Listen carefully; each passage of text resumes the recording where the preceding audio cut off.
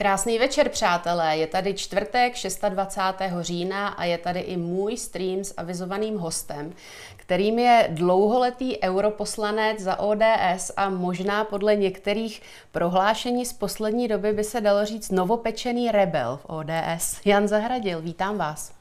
Dobrý večer, děkuji za pozvání. Já začnu takovou první otázkou. Eh, instituce Evropské unie podle zpráv z médií nyní prověřují možnosti omezení chovu divokých a exotických zvířat v zajetí, takže máme se bát, že nám Evropská unie sebere křečky, morčata, paní van der Leyenová přijde nám z akvárka vylovit rybičky? Já jsem to taky četl. Eh, přijde mi to samozřejmě jako úplná blbost, jo. nevím úplně přesně, kde vznikl základ téhle zprávy. Jestli to je jako eh, nějaká prostě fitosanitární nebo hygienická aktivita nebo ekologická aktivita, jestli by to mělo být doporučení, nařízení, směrnice nebo co. Eh, takže eh, já bych se toho úplně nebál. Já myslím, že eh, pokud někdo, někde nějaký úředník jako trpí tím syndromem prázdné A4 někde v EU, začal něco sepisovat, tak jako k tomu, aby to opravdu vešlo v platnost, je ještě dlouhá cesta. To věřím, že tohle to by třeba radou EU neprošlo. Mm-hmm. Jo. Takže já bych se toho úplně nebál. To, že headline jako samozřejmě je to hezký, svádí to k tomu, aby, abychom si z toho dělali legraci, což se děje. A Evropské unii to samozřejmě neprospívá, ale není to asi ani poprvé, ani naposled. To bylo v podstatě takové úvodní téma na odlehčení, protože ta další témata, která bych s vámi ráda probrala, už jsou mnohem vážnější. Aktuální informace je, že koalice spolu půjde spolu i do evropských voleb, když jsme tedy u té tématiky Evropské unie. Vy sám jste v jednom rozhovoru ještě někdy na začátku léta říkal, že si myslíte, že se to nestane. Teď je to realitou, takže k čemu nám tam ve vaší ODS došlo? Eh, stalo se to. K mému velkému překvapení teda musím říct, že se to stalo. Eh, já jsem skutečně věřil, že ODS, respektive vedení ODS, že využije příležitosti a že veme ty eurovolby jako možnost zase jednou po delší době vyprofilovat samostatně tu značku ODS. Eh, všechno k tomu směřovalo, až do nedávna, vlastně řekl bych před několika týdny, se i ten potenciální lídr Saša Vondra tvářil velmi optimisticky.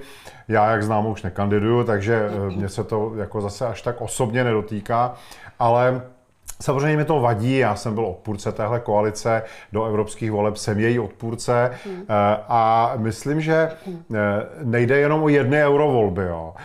Jako já, přestože jsem europoslanec, já ty eurovolby samozřejmě nepřeceňuji. Všichni víme, že jak máme volby prvního řádu, druhého řádu, třetího řádu, tak ty eurovolby jsou někde mezi tím druhým a třetím řádem. Chodí 30% lidí, že jo? jednou dokonce přišlo 18%. Ale právě proto jsem si myslel, že by to mohlo posloužit vzhledem k jaksi menšímu významu pro veřejnost těch voleb, že by to mohlo posloužit k zase po nějaké době vyprofilování ODS. To se nestalo a pro mě, eh, abych teda použil oblíbený termín pana premiéra, předsedy ODS, pro mě to vysílá signál, ale eh, jako ne úplně kladnej, pokud jde o budoucí směřování ODS. Jak to vůbec může fungovat? Mluví se o dvojici na jedné straně Saša Vondra, který má tu kandidátku vést, na druhé straně tam budou takový lidé jako pan Niedermayer, který by ve svém svatém euronačení hlasoval snad i proto, že žhavé olovo příjemně chladí, takže jak to může jít dohromady? Uh, sám se na to zvědav, jak to půjde dohromady. Uh, uvidíme zítra teda, kdo hmm. se tam eh, vůbec jako objeví na té avizované tiskovce a uvidíme třeba, jestli pan Niedermayer jako vůbec překousne to, že by mu měl lídrovat kandidátku nějaký soft euroskeptik Vondra, jestli mm. to jako pro něj vůbec bude únosné a jestli topka třeba nesáhne někam jinam, po, nějakou, po nějakém méně vyhraněném typu, než je pan Niedermayer, ale speciálně tyhle dva protipóly, Vondra a Niedermayer na jedné kandidáce, je, eh, to je kvadratura kruhu, to je vlastně jako neřešitelná záležitost, protože eh, ti, kdo volí Niedermayera, eh, logicky nemůžou akceptovat Alexandra Vondru a naopak. Jo. Takže opravdu nevím, podle mě je to skutečně snaha jakoby za každou cenu zacementovat tu značku spolu i v těch eurovolbách, a znovu říkám, myslel jsem si, že eurovolby můžou být tou šancí, jak zase po čase vytáhnout tu už trochu zaprášenou, pozapomenutou značku ODS, o které se vlastně už moc nemluví, protože všude je jenom spolu, spolu, spolu, eventuálně pěti koalice. Eh, a pokud se tak neděje, pokud se tak ani v těch v eurovolbách nestalo a pokud si to současné vedení to odsouhlasilo, přestože je známo, že lídr eurokandidátky Vondra s tím taky nesouhlasil, tak pro mě to vysílá, jak už jsem řekl, ten signál, že opravdu je tady snaha, podle mě dlouhodobá, tu ODSku, eh, jak se modně říká, rebrandovat hmm. pod tou značkou spolu. A to je teda něco, s čím já jako bych eh, naprosto zásadně nemohl souhlasit. Mě na tom zajímá ještě jedna věc, než se vrhneme na dotazy, které už tady máme. Přece to není jenom tak, že Předseda rozhoduje o všem, co se v té straně děje. Ta strana má nějakou strukturu, má nějakou členskou základnu. Takže teoreticky by se k tomu měla ta členská základna vyjádřit, mělo by se k tomu vyjádřit grémium. Vy jste tam v ODS v podstatě dali Petru Fialovi nějaký biankošek, že může jít spolu i do evropských voleb, nebo on si to prosadil Nikdo se proti tomu neozval. Jak to tam vůbec vypadalo, ty diskuze? Uh, tak uh, mám pocit, že napřed o tom rozhodlo předsednictvo v nějakém poměru, uh, pak se to přineslo na výkonnou radu, což je ze stanov nejvyšší exekutivní orgán, který rozhoduje v období mezi kongresy a tato schválila v poměru 15 ku 5, to znamená 15 pro a 5 bylo buď proti nebo se zdrželo. Eh, jako řekl bych, že z formálního hlediska vlastně je to v pořádku, eh, protože pravidla byla dodržena, nicméně já bych si představoval samozřejmě úplně jiný postup. Já bych si představoval, že se to, řekněme, eh, s půlročním předstihem hodí do členské základny, prodiskutuje, prodiskutuje se to na místních oblastních regionálních združeních a z nich vyjde nějaký většinový názor, který se bude respektovat. Teď je to tak, že spousta těch oblastí eh, přijala a některé regiony přijali usnesení, eh, že to nechtějí, některé přijali usnesení, že to chtějí, některé nepřijali nic, takže vlastně není známo, jaký je ten vůbec hmm. číselný poměr mezi příznivci a odpůrci toho řešení. Eh, ale já, jak tak tu členskou základnu sleduju a znám, tak bych možná si troufl říct, a to je čistě instinkt to je odhad, jo, že převažují lidé, kteří, eh, kteří eh, by to nechtěli. Hmm. Možná jsem příliš velký optimista, možná, že vlastně většině členské základny je to jedno, že si prostě říká, no jsou to vlastně jenom eurovolby, tak z toho nebudeme dělat nějakou revoluci. Možná je to taky tak, jo? Že, že prostě menšina to, jedna malá část to chce, jedna malá část to nechce a většina ve prostřed prostě se o to víceméně nestará. Ale to právě jsme nikdy nezjistili, protože neproběhla žádná vnitřní diskuze. Na druhou stranu, když, tě, když zůstaneme u té značky spolu, tak uh, já to osobně vnímám jako věc, která je velmi silně personálně vázaná na ty stávající předsedy těch jednotlivých stran. Zvláště v případě Markéty Pekarové Adamové a nejvíc v případě Petra Fialy. Takže v okamžiku, kdyby se něco stalo a Petr Fiala už předsedou ODS nebyl, tak tím pádem v podstatě zmizí i ta značka spolu. Možná ano, možná ne. Eh, my jako nevíme, eh, jak by se eh, situace v ODS vyvíjela. Zase na to nemáme žádný průzkum. Takový průzkum by byly pouze nové volby stranického vedení, pokud by toto vedení z nějakého důvodu, třeba z důvodu prohraných parlamentních voleb odešlo, mm-hmm. tak pak by se zjistilo, jakým směrem se vůbec ODS chce vydat. Jestli se chce vydat cestou eh, obnovování té samostatné, autentické značky, eh, jak autonomní politické strany, anebo jestli skutečně vidí budoucnost v nějakém širším celku, toho spolu v nějakém spojení Eh, které prostě eh, já jsem přesvědčen, že třeba eh, Petr Fiala si vysnil, nebo že si ho představuje, hmm. že tady vytvoří nějakou českou variantu CDU, CSU a že to CDU vznikne s spojením ODS a Topky a to CSU to, bude, to budou ti lidovci, kteří sice pravděpodobně by někdy přistoupili na nějakou fúzi, ale třeba na nějakou dlouhodobou dohodu o spolupráci, že třeba se jim přidělí tři regiony na Moravě, ve kterých dominují navrhují a ve kterých tedy budou kandidovat jenom oni a nebude tam kandidovat ta, ta druhá část toho spojenectví. Eh, to si myslím, že je dlouhodobá představa Petra Fialy. Eh, myslím, že eh, ty eurovolby jsou jeden malý krůček k, k realizaci té představy. A aby bylo jako úplně jasno, ona to není nelegitimní představa. Jo ale eh, je zapotřebí s ní, pokud to tak je, je zapotřebí s ní výjít ven, je zapotřebí zase jít dát do členské základny, K je diskuzi. zapotřebí prostě jako nalít těm lidem čistého vína a říct, ano, já to vidím takhle a takhle, eh, pojďme o tom diskutovat a do roka nebo do dvou let na příštím kongresu nebo na přes příštím kongresu se rozhodněme, jak teda chceme dál. A eh, to se neděje a mně to připadá, že tady se spíš jako postupuje jakou salámovou metodou, prostě, že se vždycky vždycky jako ukrojí kousek a už se to nedá vrátit a jako po, počítá se s tím, že ta členská základna to nakonec nějak mm. jako Eh, absorbuje, nějak to akceptuje a že tím se vlastně vytváří ta atmosféra, že se to posunuje dál k tomu, že se posiluje ta značka spolu, oslabuje ta značka ODS a to mě teda osobně jako 90 prostě dinosaurovi, co stál u zrodu ODS v roce 91, prostě vadí. Jo. Hmm. Ostatně Václav Klaus tady na XTV prohlásil, že Petr Fiala nechce být předsedou ODS, ale předsedou spolu.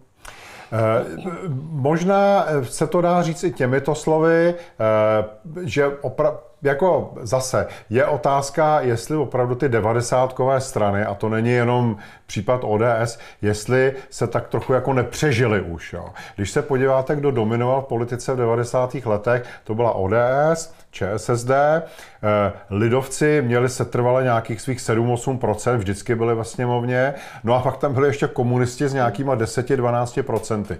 Tak ČSSD je pryč, Eh, komunisti jsou pryč, lidovci, kdyby nebylo spolu, tak jsou taky pryč, protože mají 3% a ODS místo svých 30% kdysi dávno, tak má 15, jo, maximálně. Čili je já, já sám si kladu otázku, jestli ty devadesátkové strany vlastně nestratily to, čemu se říká raison d'être, jestli se nevyčerpali třeba v případě ODS, jestli se vlastně nevyčerpala tou devadesátkovou transformací a jestli už teď vlastně, eh, a to není jenom teď posledních deset let, ale vlastně eh, od roku 2002, kdy se vyměnilo vedení, odešel Klaus, mm. vystřídal Topolánek, tak jestli vlastně netápe ta ODS jako taková v hledání nějakého důvodu vlastní existence a nějakého politického tématu, eh, kterým by ty voliče znovu oslovila. Eh, nevím, jestli je to pravda, ale přemýšlím o tom. Já vám tenhle důvod rozseknu, já si myslím, že to tak vůbec není, že to není problém toho, že by se vyčerpala ta idea těch stran, ale že ty strany prostě v určitém okamžiku opustily. Klasický příklad sociální demokracie opustila svoje voliče, dala se na progresivní zelenou levici, to jí stálo voliče, kteří už se nevrací, to stejné lidovci, v podstatě to stejné ODS, takže to vlastně není o tom, že by se vyčerpala ta původní idea, jako spíš, že ta strana od té ideje v určitém okamžiku upustila a v souvislosti s tím ji opustili voliči, kteří teď více nebo méně úspěšně hledají za to nějakou alternativu. Uh... Možná, možná, že ano, možná, že ne. Eh, ODS prostě byla strana transformace 90. let a to bylo skutečně tak silné společenské téma, že po něm už žádné další nepřišlo. Jo. Já vlastně mám pocit, když to, eh, když to jako hodně zjednodušeně zvulgarizuju, že my z těch 90. žijeme do dneška, eh, vlastně i v ekonomice, prostě z toho, co se tenkrát nastartovalo, takže žijeme do dneška a že pak jsme už žádné další velké téma nenašli.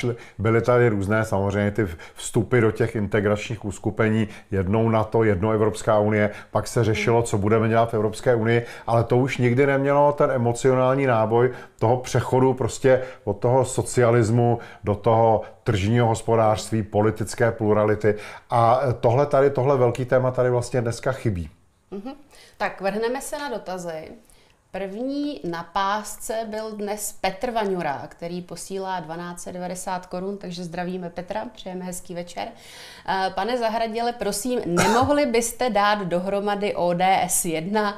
Moc by to tato země potřebovala. Prostě někoho, kdo by pro začátek mohl složit koalici s ANO. Moje obrovská sociální bublina nemá koho volit, to je to, co jsem říkala hmm. před chvílí. Stávající vládní pětikoalice je nepoužitelná. Koalice, případná koalice s hnutím ANO po příštích parlamentních volbách je velké téma, přestože vaši, řekněme, konformnější kolegové se tváří, že je jasně dané, že to nebude. Vy se tak jednoznačně netváříte. No tak já mám naštěstí teď jako, jak to mám říct, eh, větší stupeň volnosti některé věci říkat. Oni ti kolegové, kteří to tak jako veřejně Eh, jak si zamítají nebo hmm. odsuzují, tak potom třeba v kuloárech mezi čtyřma očima mluví úplně jinak. Jo. Mm. Takže eh, to je taková hra trochu, trochu s veřejností, ale já skutečně si myslím, že Eh, zase, to je zase součást toho, jestli se chceme na věky svázat prostě v koalici spolu s dvěma stranami, které navíc jako jsou handicapovány tím, že by se tam sami nedostali, takže to jejich sebevědomí vlastně je úplně někde prostě na bodu mrazu a eh, oni tu koalici spolu, oni tu koalici spolu potřebují, my teda zatím ještě ne. Eh, takže jestli se máme v úmyslu s nimi natrvalo svázat, s nimi buď to vyhrát volby, nebo pro prohrát volby a společně odejít do opozice, a nebo jestli jsme ochotni se vyvázat z toho svazku eh, a chovat se jako autonomní politická strana. A po těch volbách 2025, když to třeba nedopadne a když ta koalice spolu je nevyhraje, tak prostě říct ano přátelé, tak nám to nevyšlo, takže eh, končíme, jednou to vyšlo, po druhé to nevyšlo, takže je vidět, že se ten experiment vyčerpal, končíme, každý jdeme vlastní cestou a my jako ODS si vy, vyminujeme právo teď jednat autonomně, což znamená za určitých podmínek třeba jednat i s hnutím ANO o nějaké budoucí koalici. Já jsem stoupenec tohohle toho postoje, je mi jedno, že mi za to nadávají, protože myslím si, že dřív nebo později k tomu prostě budou muset dospět i ti, kteří jsou teď velmi halasně proti. No a abychom ještě odpověděli Petru Vaňurovi na tu ODS 1, tak formuje se tam nějaká, nechci vysloveně říkat antifialovská opozice, ale skupina, řekněme, členů, kteří prostě chápou, že to, co eh, Petr Fiala dělá a říká, je nahony vzdálené tomu, proč třeba oni sami do ODS vstupovali a proč tu stranu podporují? Uh, upřímně řečeno nevím. Jo. Já uh, rozhodně neorganizuju v tuhle chvíli mm-hmm. žádnou uh, vnitřní opozici Asi Petr nebude potěšen úplně. Uh, ne, já chci, já chci uh, samozřejmě teď prostě začít objíždět, protože příští rok bude kongres, Eh, někdy v dubnu nebo v květnu bude kongres. Já chci začít objíždět teď místní, oblastní, regionální združení a vlastně sondovat, jaká ta nálada uvnitř mm-hmm. té mhm. ODSky je. Jestli to té členské základně je v zásadě jedno a jestli teda skutečně dává tomu vedení Biankošek na mm. úplně všechno, anebo jestli je tam, jestli tam bublá třeba nějaká nespokojenost s tím, že se prostě dějou věci, které se třeba v případě té eurokandidátky, které se nekonzultují s členskou základnou a na základě toho eh, pak budu jednat dál, jo. a nebo nebudu, to se, to se uvidí. Jo. Mm-hmm. Ale chce to napřed zjistit, jaká ta nálada je. Eh, eh, rozhodně teda ODS 1, to na mě skoro působí dojmem, jako že by, že by jsme snad měli někteří založit něco úplně nového. No tak já za prvé ve svém věku teda nic nového zakládat nebudu, jo. to už až si zakládají mladší. Ale, ale za druhé, jako já nevím, proč bych já měl něco zakládat. Jo. Jako přeci tak... já jsem v té ODS od začátku. Hmm. Já nebudu teď vyklízet pole a nějak dramaticky prostě neplatit členské příspěvky jenom proto, abych uvolnil prostor lidem typu paní poslankyně Dekroa prostě nebo, nebo jo, to neudělám prostě. Speciálně proto to neudělám teda. Tak nevím, jestli Petr bude potěšen odpovědí, ale no, nebude, no, jste to. Um, Petr si prostě bude muset počkat na to, jak vy vyhodnotíte ty nálady na místních a oblastních sněmech. Alexandra Krátká, krásný večer všem. Zdravím paní Karol i pana Zahradila. Dnes to bude zajímavý večer, těším se. Tak děkujeme, Alexandro, a zdravíme. Jan Dvořák, zdravím paní Karolínu a hosta jednoho z posledních členů ODS. Ale tak eh, ono to na druhou stranu má svoji logiku, protože jestliže se ta členská základna nebude schopná ozvat proti takovým věcem, jako je to, že někdo upeče kandidátku spolu do Evropského parlamentu bez jejich vědomí, bez jejich souhlasu, tak v podstatě ti poslední, kterým to vadí, jsou taková ta ještě poslední opravdová ODS a ten zbytek už je opravdu spolu. Tak víte, jak to eh, v politických stranách chodí, také jste v jedné byla a ve dvou. Víte, že eh, prostě ta politická strana je jako eh, organismus s docela velkou setrvačností. Jo. A to se netýká jenom ODS, ono to platí o všech stranách. A v tuhle chvíli samozřejmě eh, v momentě, kdy ODS je ve vládě, kdy ODS má premiéra, no tak samozřejmě členská základna zkousne lecos a žádnou revoluci dělat nebude. To prostě je jasná věc. Eh, otázkou je, eh, jak moc jakoby ta, tahle ta vnější lojalita přikrývá jakousi vnitřní neskov, nespokojenost nebo nějaký nekomfort a v momentě, kdyby se ty poměry změnily, třeba po příštích parlamentních volbách, tak do jaké míry prostě najednou ta, ten, ten, nekom, ten pocit prostě toho diskomfortu vyvře nahoru a co to s tou partají udělá? Na druhou stranu, já si jako ještě členka v té době ODS docela dobře pamatuju atmosféru po volbách v roce 2006 kdy Mirek Topolánek taky po úspěšných volbách totálně otočil, velmi podobně, jako to teď dělá Petr Fiala. A tehdy ta členská základna dávala svoji nespokojenost najevo poměrně výrazně. Pravda, nebylo jí to nic platné ani tak, ale přece jenom ta členská základna se to líbit nenechala. Byli tam lidé, kteří proti tomu otevřeně rebelovali. Teď to vypadá, že se nic neděje. Skoro si i tady někdy z diváky na streamu klademe otázku, jestli vůbec Petr Fiala si uvědomuje vážnost situace, nebo má pocit, že je všechno růžové a zalité sluncem. To nevím a e, samozřejmě e, do, dokud jsem ještě seděl v předsednictvu, tak e, samozřejmě z jeho strany žádné pochybnosti nezaznívaly. Já to celkem chápu. Zase prostě ten předseda nemůže jako přijít na předsednictvo s tím, že jako si není jistý tím, co dělá, to prostě nejde. Jo. To, mm. jako, eh, to, to, to nedělá žádný předseda žádné politické strany. I když třeba eh, může cítit průšvih ve vzduchu, tak prostě eh, nepřijde jako rozklepaný na to předsednictvo, že něco se děje, já nevím, co s tím. To jako myslím, že, že takhle není. No, Topolánek, tak samozřejmě tam je rozdíl ten, že za Topolánka měla ODS 30 tisíc členů, dneska má nějakých, dejme tomu, 10-12 tisíc, takže Eh, jako eh, možná ten, ten pomalý úbytek, takový, takové to prostě, eh, tak je způsoben právě tím, že odcházejí ti lidé, pro které už to není úplně mm-hmm. lidově řečeno zkousnutelné a, a kteří by jinak byli těmi hlasy odporu nebo opozice. Mm-hmm. Kronstar, kdyby pan Zahradil konečně zlomil hůl nad Fialovo projektem a přejde do konzervativní strany, už ho vidím v tom SPD nebo, nebo mimo Reichl, Macinka?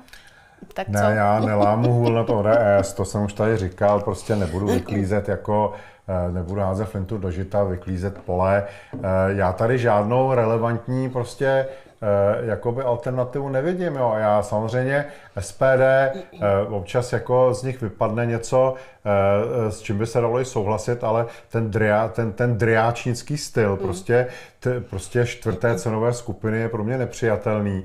No a tam pak, pak, pak jsou jako prostě takové ty dropty, Reichl, Macinka, jo, Mám rád Petra Macinku, samozřejmě. No my tady ale, taky. No, ale jako prostě, když se, to jsou, to jsou desetiny procenta dneska, to je jako tady, eh, jestli mám pravdu já v tom, a vy tvrdíte, že nemám, jo, ale jestli mám pravdu v tom, že opravdu ty devadesátkové strany se programově vyčerpali a vlastně jedna po druhé odcházejí ze scény, tak stejně se ta politická strana bude muset nějakým způsobem přestrukturovat.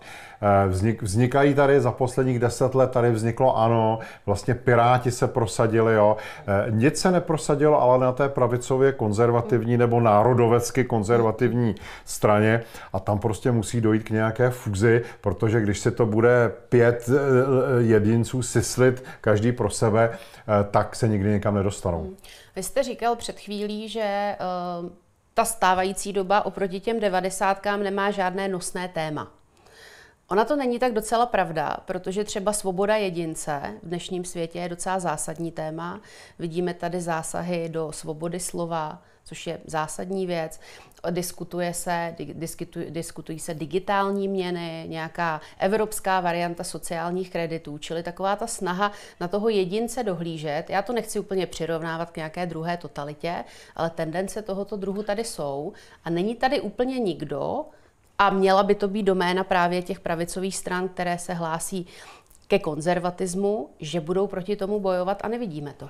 Tak, ale teď mi řekněte, a to je zase další otázka, kterou si jako kladu já, eh, pro kolik lidí nebo pro jak velké procento lidí je ta otázka té osobní svobody a svobody projevu a takových těch plíživých cenzur pod eh, záminkou boje s dezinformací, s dezinformacemi, pro koho je to skutečně nosné téma. Jo.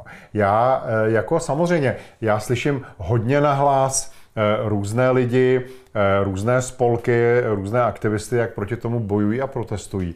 Ale otázka je, jestli jako v celospolečenském souhrnu, hmm. jestli to představuje nějakou relevantní voličskou sílu, která by dokázala prostě eh, z, vynést buď to někoho nového do parlamentu, anebo změnit směřování některých stávajících stran. Já nevím. Ale myslím si, že rozdíl s těm, toho dnešního a těch devadesátek je, že dneska jsou lidi obecně eh, jakoby apatičtější, jakoby smířenější ze situací, eh, že tady samozřejmě jsou různé ostrůvky jakoby nespokojenosti s tím nebo o ním, eh, ale že to nemá ten, spole, ten, ten celospolečenský prostě ta vlna, jako byla v 90. kdy prostě všichni nadšeně tu transformaci vlastně, nebo výrazná většina společnosti ji přijala, tak to já tady nevidím. Hmm, dobře. Tak Ondra N. Na místním sněmu jsme hlasovali jednohlasně proti, ale Brno si prosadilo svoje, tak tady máte. No, klasika, tak jako to je prostě, ano, místní združení, které hlasovalo proti, oblastní združení, které hlasovalo proti a, eh, a eh, region, region jo, a stejně nebo Zdravíme taky Janik Kuželovou, která děkuje za všechny streamy. Jirka Maso, dobrý večer. Jak hodnotíte kauzu Blažek nejedlý? No, eh, kauzu Blažek nejedlý hodnotím asi takhle. Eh, údajně eh, ministra Blaška napráskal do toho seznamu mm-hmm. panu novináři Valáškovi, jaký si uvědomělý občan, který tam seděl v té restauraci, a e, viděl tam sedět Blažka s nejedlým. Mm. E, mě to teda nevadí, že si Blažek s nejedlým dává pivo. E, a tenhle ten uvědomělý občan je tam viděl a zavolal do seznamu, e, e, že teda tam sedí Blažek s nejedlým a přijďte si je prostě nějak jako zmonitorovat. Jo. Tak jako už jenom tenhle ten přístup je pro mě Eh, tak eh, já nevím, jestli je to znamení nové doby. Jo. Vrací se je, doba uvědomělých jestli je to, občanů. Jestli je to doba uvědomělých občanů, ale uliční výbory, eh, kde teda se bude sledovat, kdo se s kým, kdo se s kým schází. Ale upřímně řečeno, já prostě navíc tomuhle vysvětlení nevěřím. Jo. Mm. Já mu nevěřím, protože mně připadá velmi nepravděpodobné, že by někdo, náhodný uvědomělý občan, který sedí v restauraci, takže má číslo na. zrovna na redaktora Valáška ze seznamu a že mu zavolá a řekne, Valášku, přijeďte, já vím, že vy jste skvělý investigativní novinář a že vy toho Blaška jako pěkně na tom ogrilujete hmm. prostě. Jo. A pokud tohle vysvětlení e, není pravdivé, tak je podle mě pravdivé nebo velmi pravděpodobné úplně jiné vysvětlení. A to vysvětlení zní tak, že pan Nejedlý e, z určitého důvodu, protože je prostě riziková osoba a protože je podezřelý z kontaktu s nějakými ruskými složkami nebo s ruským biznesem, tak je pod trvalým monitoringem jistých e, složek státní zprávy Eh, české, těch silových, že jo, spravodajských. No a tyhle složky, samozřejmě, jak víme, tak zase mají svá tykadla v médiích, to si nebudeme říkat, že je nemají.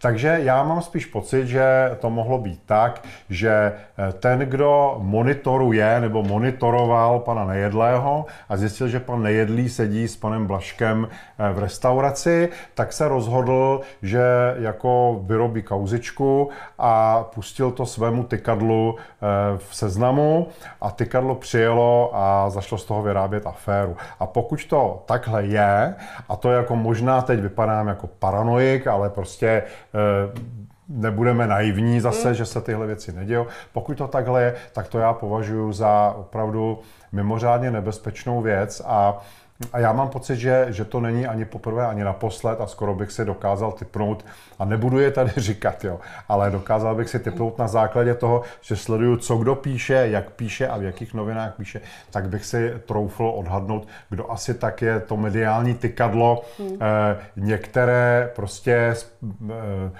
takové služby, jo, a e, přes koho se prostě pouští to kompro, když je zapotřebí vyrobit nějakou kauzu. Mm-hmm. LO, pane Zahradile, nevidí ano prostor pro koalici s ODS? No já nevím, jestli ano ho nevidí. Eh, já si myslím, že ODS by ho vidět měla. Neříkám, že je to jako jediná možnost, jo, ale znamená to samozřejmě se vyvázat, jak už jsem tady říkal, z toho spojení eh, spolu, z té trojkoalice a říct dobře, eh, třeba můžeme jít spolu spolu do voleb, ale po volbách se budeme rozhodovat každý sám, jo? Souhlasíte? Pekarová, Jurečko, souhlasíš s tím hmm. prostě? Eh, a pak samozřejmě tady přichází, já jako chápu, že prostě v momentě, kdy eh, jsme podstatnou část svojí kampaně postavili na Antibabišovi, tak jako se to těžko říká, že, ně, že ano, může být taky koaličním partnerem. No ten, ten Babiš tam taky jako nemusí být věčně. Eh, taky samozřejmě eh, ti, ti lidé, ti rozumnější lidé v ANO si třeba uvědomují, že on do jisté míry, jakože se na jednu stranu bez něj neobejdou, na druhou stranu, že vlastně už představuje trochu zátěž hmm. pro ně. No. Třeba těma hmm. svýma jakoby spontánníma výstupama, kdy mu najednou prostě bouchnou saze a, a Eh, nějakou připravenou strategii úplně prostě pošle někam do kytek. Takže eh, já ano, já jsem proto, abychom byli otevření, prostě jako rozumná, dospělá, státotvorná, zodpovědná politická strana, nemůžeme nikdy říkat, s tím nepůjdeme, toho si zakazujeme, tady to prostě přesto nejede vlak. Ne, jestli má ano 30% nebo kolik, jako, no tak nemůžeme říkat, že jsou, je to 30% dezolátů nebo extremistů nebo populistů nebo já nevím, eh, prostě ty lidi jako nějak splachovat úplně, je jako vymývat z hmm. politické scény. Tak ano, jako já jsem proto, aby se s Anem jednalo eh, bude-li to možné a bude-li to potřebné a prostě namíchají-li volby takhle karty klidně jako o koalici. Hmm. Ale tady se vrátím k tomu, co jsem říkala před chvílí. Vy jste říkal, že se po volbách můžete bavit s těmi ostatními stranami v rámci spolu, jestli si půjdete každý svou cestou nebo svorně do opozice. Ale ona opravdu může v té straně, teď myslím ODS, nastat situace, kdy po těch prohraných volbách bude Petru Fialovi poděkováno, bude za odměnu vyslán někam například eh, do evropských struktur.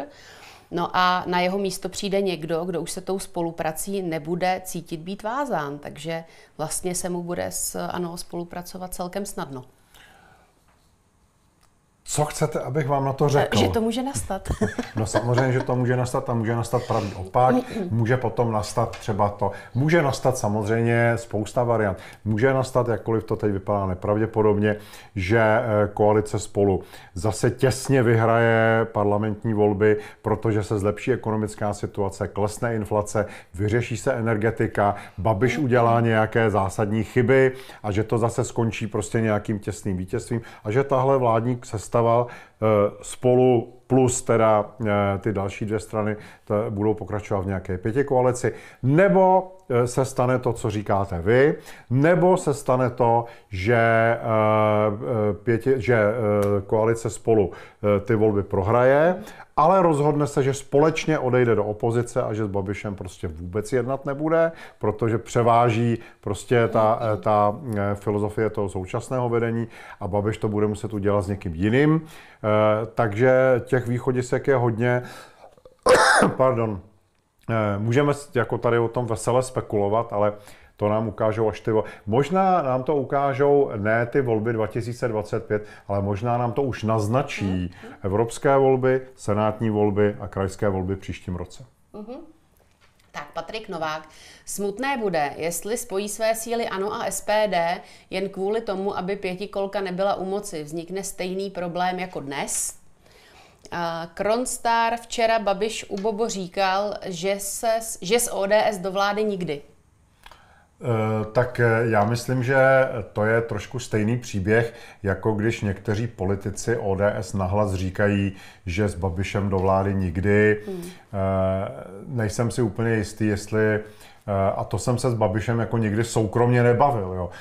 Občas ho člověk potká na nějaký recepci, takže prostě tam s ním dáte nějaký zdvořilostní rozhovor, pane předsedo a pane europoslanče a tak dále, ale e, myslím, že třeba v soukromí by taky mluvil jinak. Mm-hmm. Jiří Novák, dobrý den, pane europoslanče. Jednou jsem měl tu čest se s vámi setkat náhodně u piva a bylo to nejpříjemnější setkání s politikem, které jsem měl zatím možnost mít. Díky za to a držím vám Oho. palce. A když to bylo u piva, tak asi to je pravda, no. no a pamatujete si na, na Jirku? Já to piva. úplně... Vy ho bez toho piva nepoznáte. Jo, no asi nevím, kolik jsem měl piv tenkrát, takže... a kolik on měl piv. Uh, Ondra N. ještě jednou, že ten práskač bylo maso, to je tady náš uh, věrný fanoušek Jir, uh, Jirka Maso, tak nevím, jestli to byl zrovna on ten práskač. Vlastimil Pešek, SPD, čtvrtá cenová skupina Pravda, ale aspoň to není psycholéčebna korektních nevyléčitelných lhářů, což se stalo s ODS. Ano, tak to zase tako...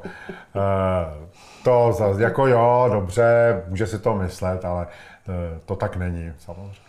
No tak eh, když se zastavíme u těch eh, slibů předvolebních, já myslím, že bychom ještě našli po republice nemálo opršelých billboardů, na nichž pan no. předseda Fiala slibuje, že za nízké daně půjde na barikády a tak podobně. No Takže tak to se, ono to, se to není sečte, zase tak to úplně se sečte. To se sečte ve volbách, všechno to uvidíme, co s tím eh, provedou voliči, ale dobře, psycholéčebná jako, sorry, to není prostě. Tak vlastík byl trošku tady v tomhle expresivní. Jdeme na Pepu. Dobrý večer, paní Karol, děkuji za pana Zahradila, jediný odvážný mohikán ze staré ODS. Ta nová skončí jako ČSSD, bohužel. Naštěstí jsou tady svobodní a motoristé sobě, slepenec nikdy. Tak chcete to, ten povzdech nějak okomentovat? Ale tak já už jsem to tady říkal. Ano, může se to stát, eh, skutečně může se stát, že ty devadesátkové strany prostě dřív nebo později všechny Eh, dopadnou stejně. Může se stát, že za dvě volební období eh, tady ODS nebude, protože tady bude jenom spolu, anebo nebude spolu, ale ODS nebude ve sněmovně. To se samozřejmě všechno může stát, jo? Jako to já vůbec nevylučuju.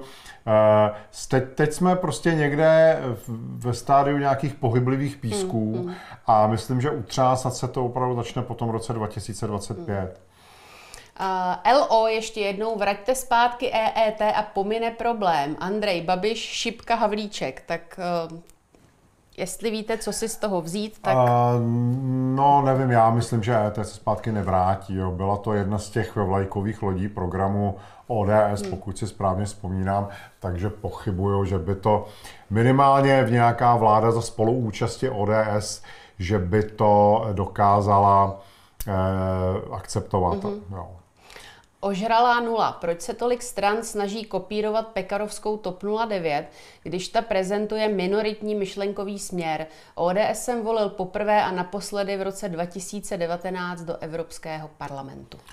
Uh, ano, to já, to já to taky cítím jako problém. Uh, nechápu, uh, proč tahle ta strana, která vlastně, která už ani vlastně není strana, jo, to je nějaká pražská záležitost, vyjedete 50 km z Prahy a, o topce tam nikdo nic neví, eh, tak eh, jako jak vlastně, eh, tak samozřejmě má ten mediální vliv, jo, to je prostě jasná věc, má ten vliv v takovém tom občansko-aktivistickém sektoru, nebo jak bychom to nazvali, ale to že, to, že jako my jako ODS, že jsme vlastně začali topkařit, eh, to je pro mě nevysvětlitelná věc. A je to jedna z těch chyb, za kterou hmm. podle mě budeme platit.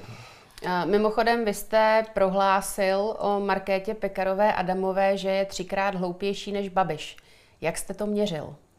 Já jsem to neměřil a já jsem, když jsem byl u, potom u Veselovského v DVTV, protože mi to bylo opakovaně vmetáno do tváře, tak se já jsem řekl, že vlastně jako, že ten výrok musím vzít zpátky, že jako bych se za to měl skoro omluvit, že, že možná jsem měl říct, že ne třikrát, ale dvakrát hloupější, že jsem to možná přehnal. No.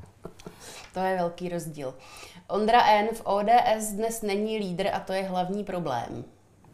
Eh, na někoho to tak může působit, ano, eh, speciálně v té vládě, eh, ve které my jsme, máme tam sice premiéra, ale jsme tam v menšině. Jo. To je ten problém té pěti koalice, což je vlastně poprvé Eh, za dobu, za celou dobu existence samostatné České republiky za posledních 30 let, kdy vládne pěti koalice. Vždycky vládla tří koalice a už tu je těžké ukočírovat, ale i v té tří koalici vždycky byla jedna dominantní strana.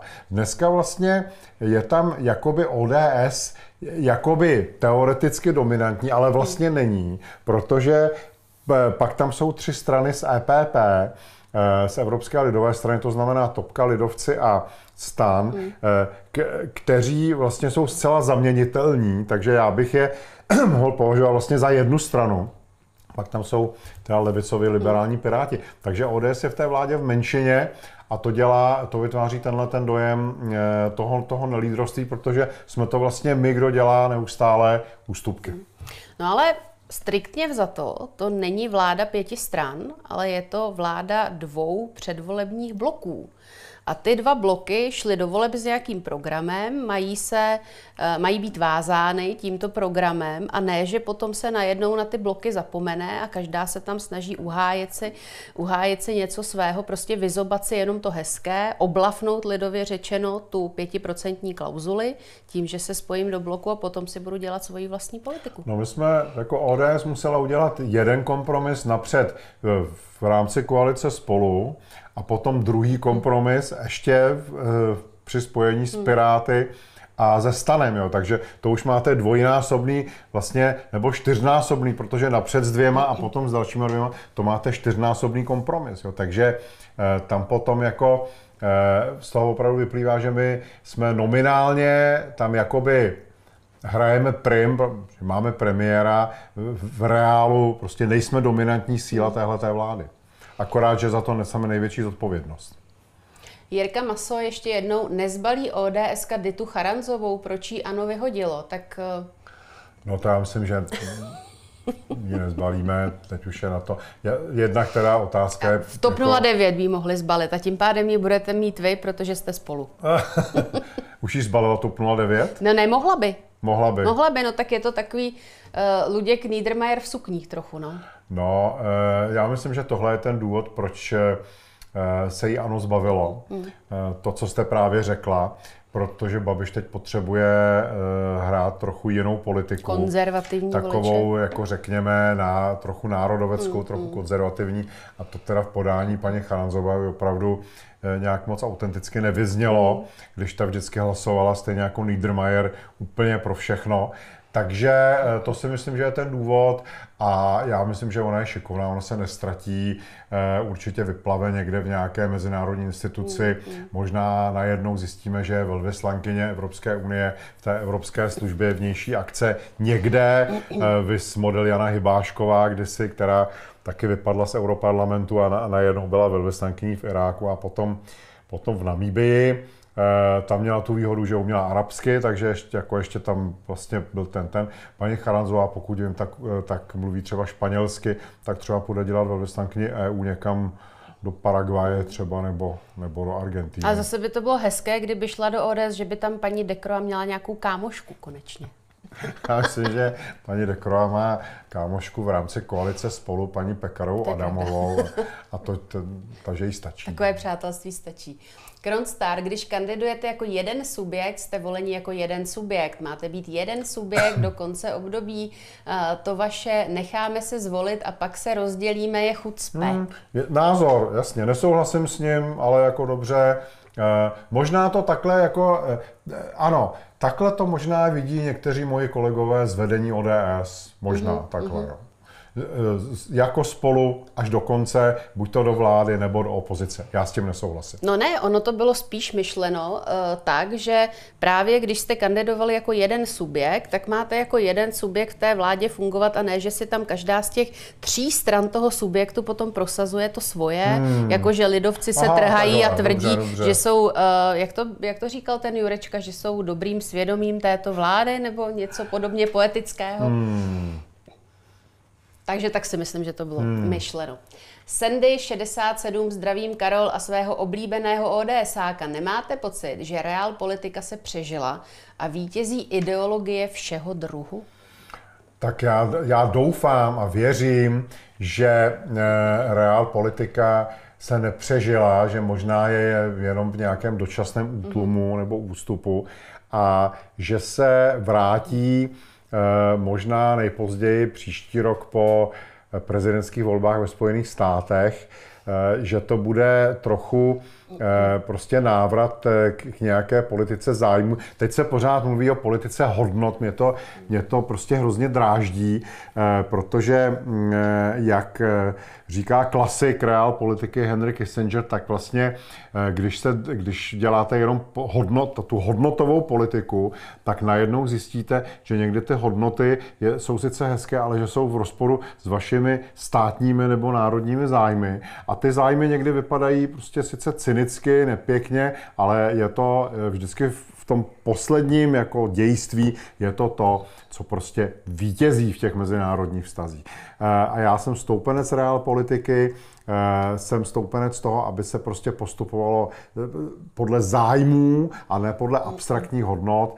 A myslím, že malé zemi, jako je Česká republika, by tahle ta reál politika, politika zájmu slušela daleko víc než nějaké havlování ve stylu 90. let. Takže takové to následování Spojených států, koho Spojené státy nemají rádi, toho musíme mít neradi i my? Eh, tak jasně, že eh, my vždycky jsme razili ten transatlantismus a já jsem vždycky byl velmi, já osobně jsem byl transatlanticky orientovaný člověk, ale uh, uveďme si prostě několik, jestli se můžeme u toho zastavit na chvilku, tak si uveďme několik příkladů. Jo. Tak my jsme v první dekádě ještě za Topolánka, tak jsme investovali strašně moc politického kapitálu Eh, do toho radaru. To byl ten mm. dvojprojekt eh, česko-polský, mm, mm. kde teda v České republice měl stát radar té protiraketové obrany eh, a krváceli jsme tady za to, sociální demokracie nás ostřelovala, koalice ne základná, nás tady, ta občanská iniciativa nás tady ostřelovala. A přesto si myslím ale, že by to tím parlamentem nakonec bylo prošlo. Eh, ale tehdy prezident Obama, který čerstvě nastoupil do úřadu, tak to prostě odpískal, protože potřeboval reset. Hmm. Chtěl, myslel si, že udělá nějaký reset vztahu s Ruskem. Jak to dopadlo, to teď můžeme vidět. Eh, takže to vlastně hodil přes palubu. Ještě pokud si dobře pamatuju, tehdy byl eh, ta, ta úřednická vláda, premiér Fischer, mu to Obama volal někdy v noci, protože jim nedošlo, že je tady čas, ten, ten posun časový, takže ten to někde v pyžamu prostě poslouchal. Jo. Tak to je prostě ukázka toho, že jako když s někým jdete až nakonec a on jako nakonec podle svých vlastních zájmů jako e, to schodí ze stolu a vy tam zůstanete a koukáte na to prostě s prázdnýma rukama. Druhý příklad Afganistán, tam jsme taky prostě 20 let jsme tam e, lifrovali vojáky, zbraně, všechno. E, pak se Biden rozhodl, že prostě odejde a Taliban, proti kterému jsme tam 20 let bojovali a, a, a v tom boji teda i e, vojáci armády České republiky pokládali životy, tak Taliban tam dneska v pohodě vládne znovu, čili naprosto neúspěšná, tragicky neúspěšná, katastrofální operace, ale zase jsme šli až do konce. Jo. A třetí příklad, to jsem zvědavý, jestli se to bude teď opakovat, třetí příklad je Ukrajina, protože může se stát, že za rok e, bude ve Spojených státech jiný prezident než Biden, v kongresu v obou komorách bude republikánská většina a že aspoň podle toho, jak já to čtu, když vidím, co ti politici, prezidentští kandidáti, eh, kandidáti do kongresu, co říkají, že se od toho začnou jako tak lehce odtahovat a že začnou tu, tu pomoc trochu jako utahovat kyslík prostě. A teď zase otázka, co budeme dělat my, protože my jsme se do toho vložili ne na 100%, ale na 150%. Tak jako, kde si najdeme tu cestu prostě, jak modifikovat ten svůj postoj. Takže já jsem jako stoupenec transatlantismu, ale jako vždycky říkám, že je dobré prostě mít ještě plán B v záloze. A to mám pocit, že ten náš 90 atlantismus, takový ten trošku jako zastydlý z doby Clintona a Havla, Albrightové, a kdy nás brali do NATO, tak to tady pořád jako funguje. Mimochodem tady funguje i ta e, orientace pořád na demokraty, že jo? To je ještě z doby Clintona. My jsme prostě toho ještě tak e, Bushe mladšího jsme tak nějak jako akceptovali, protože e, byl v těžké situaci, že jo, 11. září, teroristický útok na Ameriku, všichni byli solidární najednou se Spojenými státy. Takže jako rádě ho ten establishment ho rád neměl, ale tak jako jsme ho brali, že prostě dobře, prostě teď jsme s Amerikou. Jo. Pak přišel Obama, to zase byl hrdina největší, pak přišel Trump, toho jsme tady měli úplně za nějakou úchylku, s kterým vůbec jako se nebudeme bavit snad. Jo. No a teď je tady Biden a to zase se prostě, zase už se jako orientujeme jednostranně na tu demokratickou administrativu a nedochází nám, že to se může změnit. Takže e, jako je to, e, te, tenhle ten náš atlantismus bohužel je trochu zastydlý v minulosti a za těch 25 let se ten svět prostě změnil. A my to podle mě nereflektujeme. To jsem se teď trošku rozpovídal jako Uh, trochu moc, ale už toho nechám. No. Vrátíme se zpátky k domácí politice. Berenika Peštová nás tam vrátí. Píše, omlouvám se, ale MPA, jak my tady přezdíváme Markétě Pekarové hmm. Adamové, je prázdná nádoba a nesahá Andrej Babišovi ani pokotníky, jinak přejí krásný večer. Jo, to je paní Peštová paní poslankyně. poslankyně. Za, ano, no, tak jasně, tak jako já jsem o paní Pekarové už si řekl své a vždycky občas něco někde přihodím. Eh, tak eh, tak tak to tady něco. No, teď už to nebudu, teď, teď už to nebudu. Dneska zrovna jsem něco psal na sítě k tomu jejímu poslednímu rozhovoru. Uh, jsem napsal, že uh, po přečtení toho rozhovoru se prostě nedivím, že obsahuje, že trvalé paní Pekarová Adamová obsazuje tu nejspodnější hmm. příčku v žebříčku důvěryhodnosti politiků, protože ten rozhovor byl, jako na mě působil jako nesmírně prostě jako povýšeně a arrogantně. Ano. Eh, ale jako já eh, možná mám na ní jako až přehnaně pivku, eh, nevím, ale jako je to skutečně je to skutečně politik, o kterém si myslím, že byl uměle zasazen do funkce, na kterou nestačí. Bohužel teda tu funkci na stříbrném podnose hmm. jí nabídla ODS. Před volbama paní Pekarová měla plné, plná ústa řečí o tom, jak si půjde sednout na ministerstvo práce a sociálních věcí a tam bude dělat prostě sociální politiku. Tam by ovšem musela Eh, pracovat, jak se říká, 24-7, nemohla by si dělat svoje vlastní PR na Empireu ve sněmovně, tak si teda vybrala tu lehčí cestu a my jsme jí k tomu bohužel pomohli. Na druhou stranu, Uh, ono se jednu dobu říkalo, že mezi takovou tou, řekněme, skeptičtěji zaměřenou částí ODS, že to byla chyba paní Pekarovou nedat na nějakou ministerskou pozici, aby se právě odhalilo, teď nevím, jestli mám říct to, co v ní je, nebo to, co v ní není, ale ona to dokáže geniálně odhalit i na té, i v rámci toho postu předsedkyně poslanecké sněmovny. No dobře, ale e, tam má jako prostě větší pole, nebo větší prostor jako vyplňovat ho různými aktivitami typu prostě Eh, cesta nad Chajvan. Jo. Eh, to já myslím, že kdyby se dělalo na ministerstvu hmm. práce a sociálních věcí, tak by prostě výlety nad Chajvan nebyly, protože by skutečně od pondělka do neděle musela sedět 24 hmm. hodin na ministerstvu a pracovat, až by se z ní kouřilo. Hmm.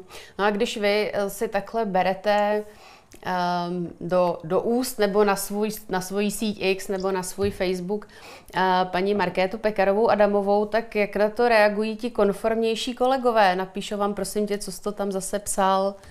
Teď je to naše markéta. Mně už nikdo nic nepíše, protože eh, všichni vědí, že já si tam stejně budu psát, co budu chtít, takže eh, já myslím, že, že v soukromí nadávají prostě, mm. jo. Eh, občas se to ke mně donese, jako čet si to zase, co tam napsal, jako to je strašný, prostě, co s tím budeme dělat, ale jako už mi nikdo nic neříká, protože už není páka, jak Jak to zarazit? Jak to zarazit. Robin Oil, dobrý večer. Jaký máte názor na pana Fialu jako premiéra? Víte, já prostě, uh, já mám jako Petrovi Fialovi pořád jako, uh, uh, my jsme si vlastně nikdy nic špatného neprovedli. Jo? Mm. Uh, on mi nic špatného neprovedl, já jsem neměl důvod něco špatného provést jemu. Já prostě nesouhlasím s jeho vizí budoucnosti ODS, to jak jsme se, už jsme se o tom tady bavili. Uh, Eh, myslím si, že on to skutečně chce vést k nějakému trvalému, spoje, formalizovanému hmm. spojenectví spolu. Eh, s tím nesouhlasím. A pokud tomu bude příležitost, tak samozřejmě se uh, budu proti tomu stavět. Uh, ten jeho premiérský výkon já prostě moc hodnotit nechci, protože by mi to zase připadalo nefér, že, uh, že jako vlastně z relativně pohodlného prostě bruselského azylu nebo exilu já prostě tady uděluji nějaké hraběcí rady. Dělat premiéra fakt není lehká věc. Eh, ne každý, na to, prostě každý má jinou jako osobnostní výbavu, jak se s tím popasovat. Jinak to dělal Klaus, jinak to dělal Topolánek, jinak to dělal Miloš Zeman. Eh, Petr Fiala to prostě dělá takhle. Eh, má to těžké, vzhledem k tomu, že tam má tu pěti koalici, takže já tady nechci jako, nemám důvod, abych teď prostě, jak, jak by řekl, jak by řekl klasik Václav Klaus, abych k tomu říkal silná slova. Jo, to nebudu říkat žádná silná slova. Dobře, tak my si je tady na streamu řekneme někdy jindy bez vás. Máme tady dotaz od Scoop.cz, který posílá 1111 korun, tak moc děkujeme Scoopovi za štědrou podporu a píše – Vlastně něco, co jsem tu před chvílí naznačovala i já, dobrý večer, pane Zahradile, neměla by být svoboda slova, ukrajování ze svobod obecně a návrat zpět k roku 89 tématem právě pro vás dinosaury z devadesátek, kteří víte, co to znamená ta svoboda? Kdo jiný než vy ze staré školy by měl toto téma uchopit? No tak to mi eh, ten tazatel teda mě osobně teďko nahrál, mm-hmm. protože eh, já mám pocit, že já jsem ho teda uchopil, jo. Eh, protože mě hrozně dráždí ta plíživá snaha okrajovat ten prostor veřejného diskurzu nebo veřejné debaty, nebo jak bychom to nazvali, pod záminkou boje s fake news, dezinformacemi, mm.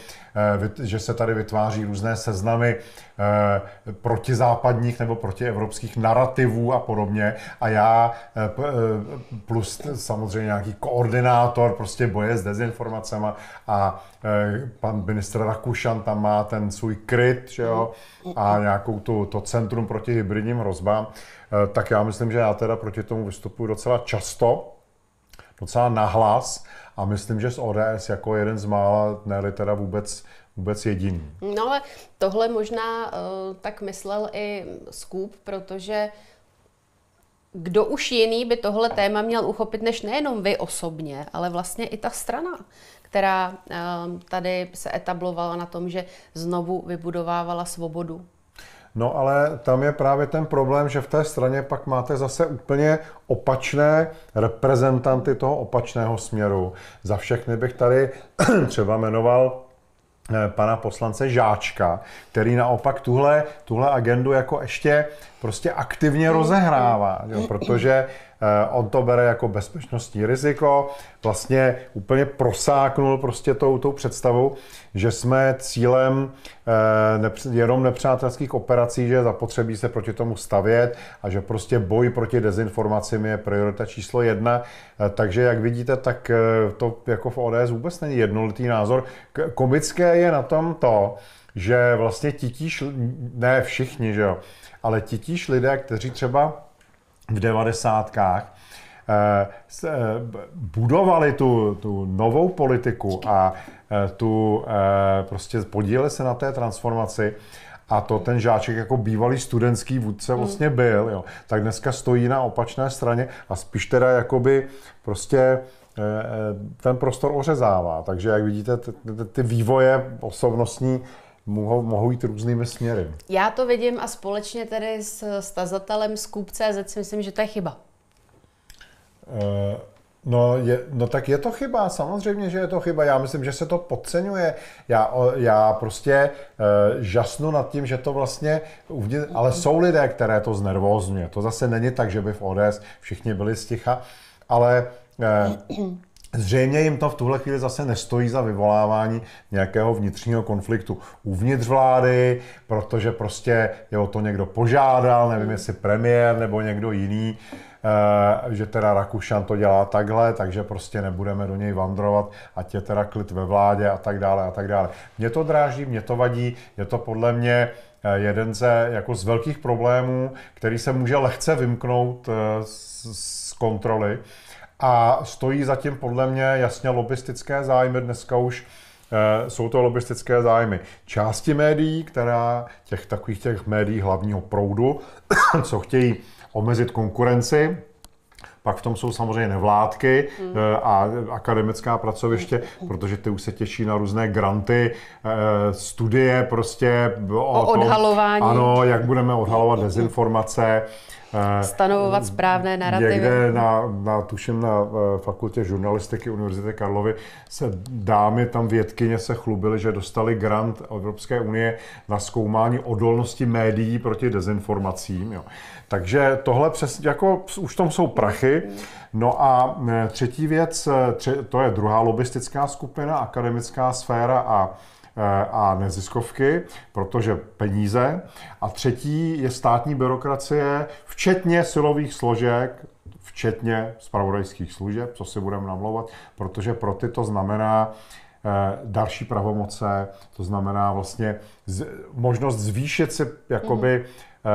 pravomoc kontroly nad částí veřejného prostoru, nad tím, co se říká, co kdo říká, vytvářet různé seznamy těch nevhodných narrativů, jak jsme si tady řekli. Státní byrokracie se chová všude na světě stejně. Když má možnost si přihrát nějakou novou pravomoc, vždycky to udělá. Každá státní instituce. Nikdy jsem neviděl žádnou státní instituci, která by prostě řekla, ne, my, tady je pět pravomocí, které my dobrovolně odevzdáme, my se jich zbavíme, jako seberte nám je. Každá státní instituce, ať je to ministerstvo, nebo eh, nebo policie, nebo armáda, nebo spravodajská služba, vždycky bude ráda, když těch pravomocí bude víc. Jiří Novák upřesňuje parametry vašeho setkání. Moc piv jsme neměli a bylo to s naším společným známým moderátorem v rádiu.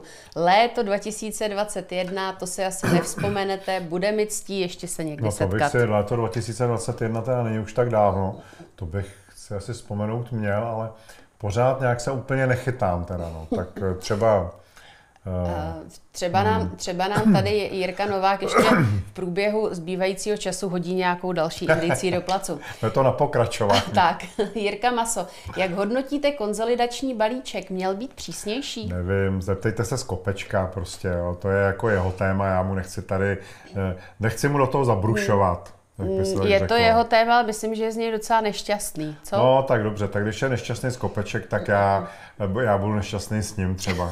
dobře. Pepa, co říkáte na projev Petra Fialy v Izraeli? Člověk ověnčený tolika americkými tituly a nedokáže mluvit anglicky. Musí to číst a jeho angličtina rve uši.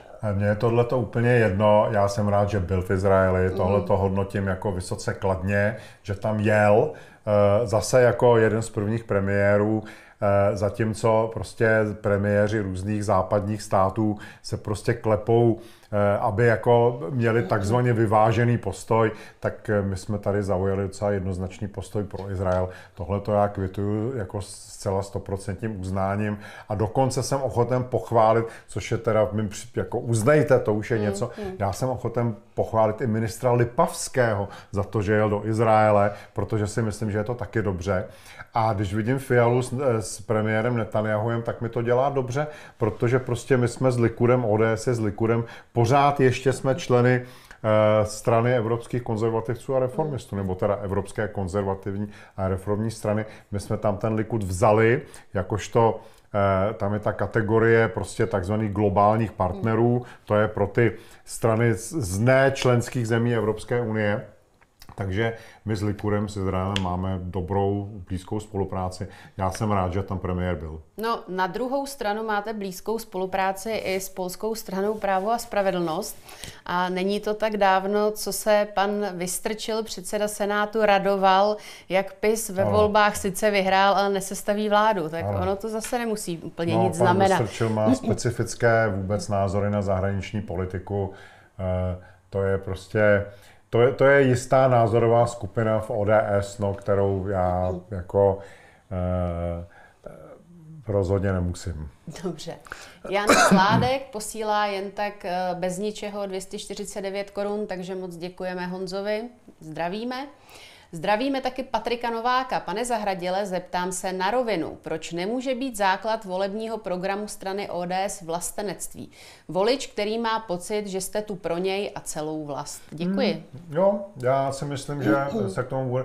Pokud teda má ODS nějakým způsobem uh, aspoň já, já to tak beru, eh, nějak resuscitovat eh, nebo se vrátit základům nebo, nebo vytvořit nějakou, řekněme, atraktivnější platformu, dostat se nad těch 15%, na kterých jako jsme teď zamrzli, tak, eh, tak prostě eh, to bude muset udělat. Bude to, ta, ty národní zájmy, to v dobrém smyslu slova národovectví budeme muset začít akcentovat daleko víc. Hmm. Nebo nám to ukradne Babiš mimochodem.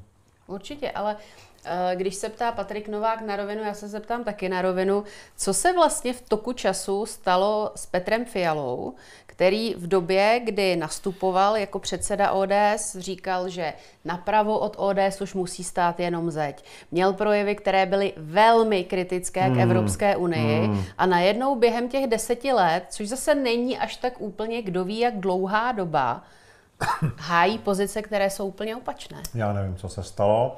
Uh, může to být prostě snaha s nějakým způsobem udržet uh, kompromis uvnitř vlády, anebo je to čistě snaha prostě nedělat si problémy uvnitř Evropské unie. Podobným vlastně jakoby eh, Mám pocit, že podobným vývojem prošel Mirek Topolánek hmm. taky. Ano, no. ano, ano. Ten tam také nastupoval s takovým jako tvrdě až euroskeptickým přístupem a v průběhu, v průběhu toho Eh, svého eh, premiérského mandátu a zejména během toho předsednictví, kde teda ale ta vláda nakonec jeho padla v polovině předsednictví, tak, eh, tak to úplně změnil. Mm-hmm. Máme tady Václava Sajdla, který je fanouškem Grand XL a ten píše Buďte zdraví. Koukal jsem na Slávy a mimoděk se zamyslel, že jediný politik ODS při smyslech je Skopeček a Zahradil a hle, není čas přiznat, že dominance USA končí. A propo, jak probíhá vyšetřování masakru v Buči? To jako, že koukal na fotbal a toho napadly tyhle ty věci prostě. Uh, jako. Vypadá to tak. To je zajímavé. Já teda, já na fotbal nekoukám, jo, ale jako představuju si, že kdybych se na ně koukal, tak jestli by mě jako napadaly zrovna nějaký politické souvislosti, nevím, tak to musíte, musíte to zkusit, protože jinak to nezjistíte. To je zvláštní, no. No jasně, tak dobře, děkujeme, děkuji, že jsem považován za politika při smyslech, ještě s Honzou Skopečkem. Eh, já eh, samozřejmě, já to říkám, a na tom není nic protiamerického říkat, že už nežijeme prostě v unipolárním nebo v bipolárním světě, ale že, že žijeme v multipolárním světě, že eh, prostě USA jako nejsou, nebudou v budoucnu jediná dominantní supervelmoc na celém světě, že těch pólů prostě bude víc v, růz, v různém stupni jakoby síly geopolitické. A myslím, že eh, brzo poznáme tady v Evropě a zejména u nás ve střední a východní Evropě, že taky ten zájem Spojených států o Evropu se začne vytrácet, tak jak se začne měnit demografie Spojených států, jak třeba začne dominovat eh, to ta, ta, ta hispánská enkláva eh, nad tou v uvozovkách eh, běložskou, tak se prostě ty priority změní. Už, už i ten Obama vlastně, nejenom za Trumpa to pokračovalo, a zašlo to vlastně za Obamy, že se Spojené státy začaly věnovat daleko víc Indo-Pacifiku než Evropě a podle mě už je to jako setrvalá Eh, taková linie, která v té americké politice bude pokračovat.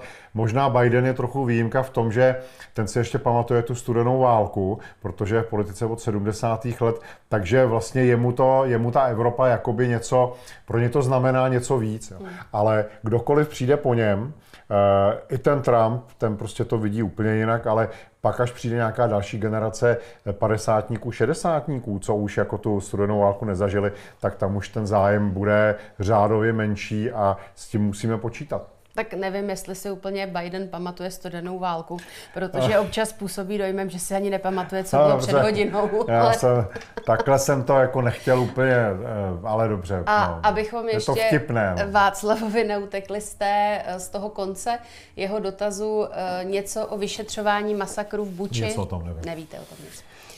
Paní poslankyně Peštová, která mimochodem byla, seděla tady na vašem místě v neděli a byla s Xaverem, takže kdo by měl zájem, můžete se po dnešním streamu podívat ještě na stream s paní poslankyní Peštovou. A ona píše, pane poslanče, jste rebel a to já taky. Že ne, nerodí se nám tady nějaká budoucí teda koaliční spolupráce v přímém Já teda jsem se s paní poslankyní nikdy v životě nesetkal. Já jsem se setkal s různými politiky, ano, Eh, s Patrikem Nacherem z logiky věci, protože ten je z Prahy, takže tam to nějak jako eh, funguje. Eh, povídal jsem se s Karlem Havlíčkem, povídal jsem se s Alenou Schillerovou, s paní Peštovou ne a uvidíme, co by mi řekla prostě při takovém setkání. No. Dobře. Jan Sládek, dobrý večer. Skončí někdy čtyřleté období, rušíme, co jsme schválili, schvalujeme, co jsme zrušili, napravování škod. Že pan Sládek taky už klade jako asi nějak, ko, několikátý dotaz. Ano, ano. Jo. To je náš fanoušek 2XL. Jo, jo, jo. No, tak eh, jasně, tak prostě chtělo by to. A to je mimochodem eh, možná eh, ten hlavní důvod, proč já si myslím, že prostě musíme komunikovat, nebo měli bychom komunikovat s tím hnutím ano, eh, že eh, pokud se tady má dělat nějaká dlouhodobá eh, nějaká strategická politika, která přesáhne jedno volební období, tak v těch základních věcech, jako třeba energetika nebo infrastruktura nebo, nebo mhm. tyhle ty věci, tak se to s tou opozicí prostě, i když je to opozice, i když se jinak mezi sebou řežou a prostě útočí na sebe ve sněmovně, tak se s tou opozicí prostě musí najít nějaký nejmenší společný jmenovatel. Právě proto, aby nedocházelo eh, tady k těm, tady k těm věcem, že pak ta vláda si, nebo ta budoucí vláda, která je opozicí a příště bude vládou, tak si vlastně postaví program na absolutní negaci hmm. toho, co ta vláda, která je právě u moci, dělá a pak to všechno zruší. Jo. Eh, takže to je jeden z těch důvodů, proč já prostě eh, tuhle tu eh, strategii antibabiš neberu. Už si, už si myslím, že se to vyčerpalo. Myslím si, že už to vlastně lidi ani nezajímá. A že jestli chceme fakt jako dělat, teď se třeba mluví o nějakých těch strategických investicích, jo, můžeme si o tom myslet, co chceme, ale pokud skutečně je tady plán investovat dlouhodobě do nějakých konkrétních sektorů ekonomiky, tak se to ale nemůže dělat eh, prostě na sílu a musí se to s tou opozicí jako nějak ukonsenzovat, aby oni potom, když se eventuálně dostanou k moci, aby to zase všechno nezrušili. Ukonsenzovat, to je hezké no. slovo. Jirka... To, to mám z Europarlamentu, tam je, tahle, tam je ta politická kultura taková, Aha. že se tam vždycky všechno ukonsenzuje až do bezvědomí. Ano, no. ano, věřím tomu. Jirka Maso, eh, on má strach z politiků, kteří nazývají věci pravými jmény a ptá se, co ten Fico, první den a už hrůza, kam kráčí Slovensko. SVK je Slovensko, jo. Mm-hmm, mm-hmm. No tak Fico vyhrál volby, eh, posestavil vládu, Uh, musím říct, že asi dokonce z mého pohledu to šlo hladčeji, než já jsem osobně si mm. představoval. Já, já jsem myslel, že Eh, tam budou nějaké zahraniční tlaky, že paní prezidentka bude jako dělat větší problémy. Nakonec se ukázalo, že eh, s výjimkou jednoho jediného ministra, a to bych ještě řekl jako ne úplně jako klíčového ministra, tak to vlastně prošlo velice rychle. No a uvidíme, eh, co se teď bude dít a hlavně uvidíme, jaký to bude mít dopad na celou tu středoevropskou architekturu, nejenom V4, ale i v širším smyslu slova. Protože Evidentně eh, třeba eh, pozice téhleté vlády, třeba Ukrajině, jsou daleko bližší pozicím maďarské vlády než pozicím české vlády. Co se bude dít v Polsku, to taky uvidíme, až se tam vystřídá, velmi pravděpodobně teda se vystřídá vládní garnitura, jaké, jaké zaujme Polsko pozice, jestli třeba premiér Tusk zruší to embargo na dovoz ukrajinského obilí, což předpokládám eh, bude voda na mlín eh, naší partnerské straně PIS, která z toho okamžitě začne dělat kauzu. Takže tam je taky možné, že, že, ten, že ten, to angažmá polské, že trochu ochladne. Uvidíme, no, uvidíme. Ale je to, jako, je to zajímavý zvrat a eh, určitě to ovlivní atmosféru v celé střední Evropě.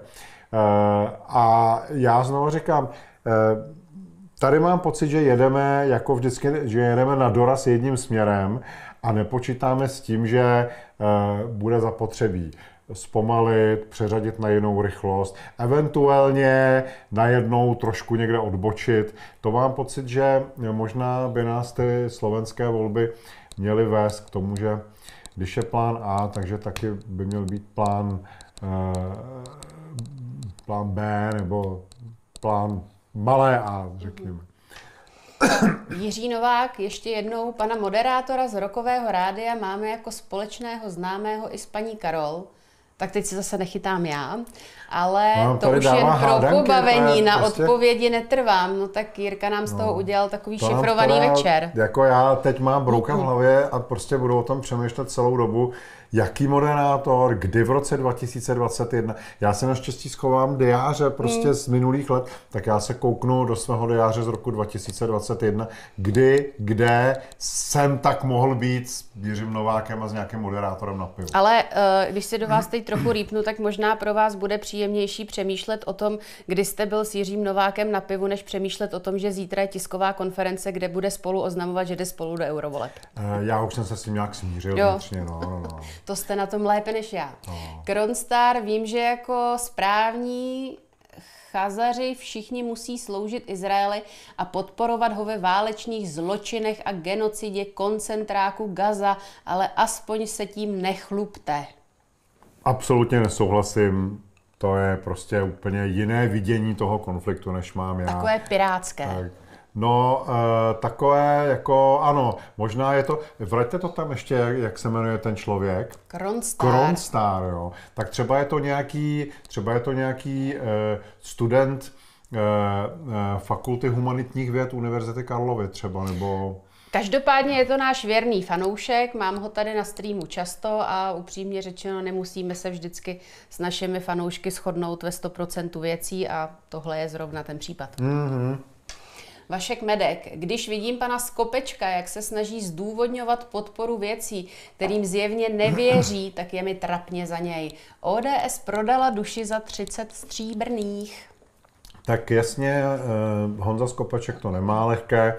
On tak jako se snaží eh, o takovou tu prostě mírnou kritiku v mezích zákona, parafrázou Jaroslava Haška, asi to jinak nejde. Eh, já jsem si z toho poodstoupil. Eh, teď, jako když vidím, že to teda nakonec dopadlo s tou koalicí spolu, tak vidím, že to bylo z mé strany prozíravé, protože na tom bych se já účastnit nemohl a musel bych vlastně z toho odejít teď a vypadalo by to jako, že prostě je v tom nějaká uražená ješitnost nebo že je to pod nátlakem nebo něco.